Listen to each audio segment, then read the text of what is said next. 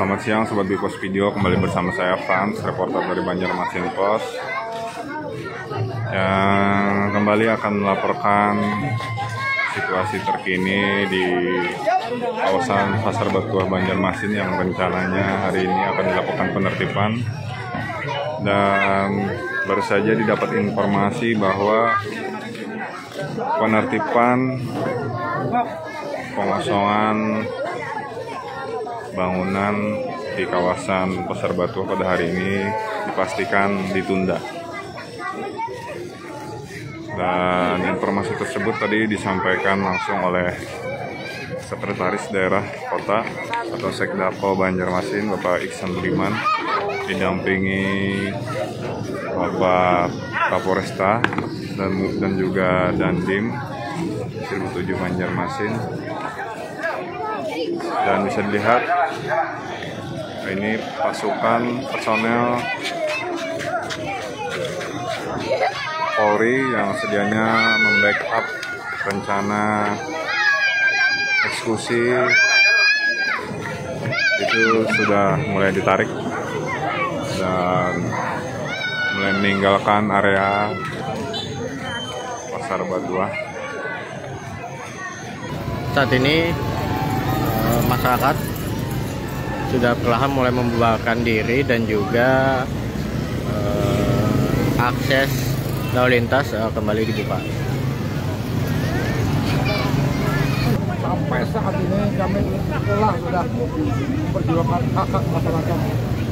Ketua terakhir ketua apa harapan BRI ke depan jika nanti ada uh, ruang mediasi untuk Pemko dan juga warga oleh Komnas HAM sendiri? Tentunya kami berharap kepada Pemko yang adanya mediasi oleh Komnas HAM mudah-mudahan ada yang terbaik. Pak, Pak, berarti ditunda nih malah? Ditunda.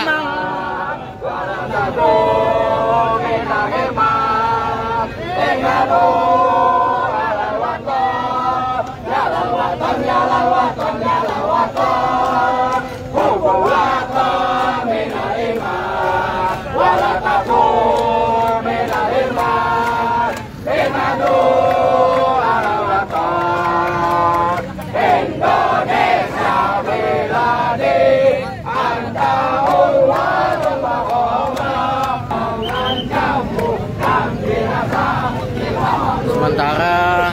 warga Batua merayakan uh, kemenangan mereka.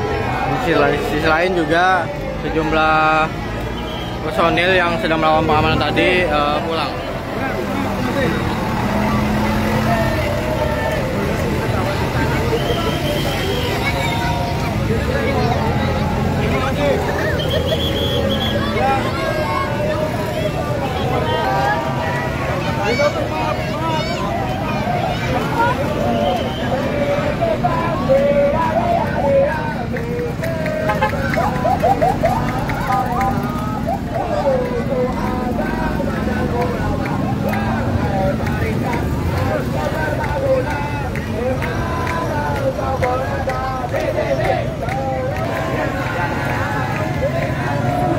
Hanya personil yang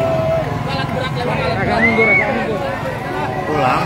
Ya juga alat berat yang disiapkan untuk uh, pembongkaran ini uh, juga balik kanan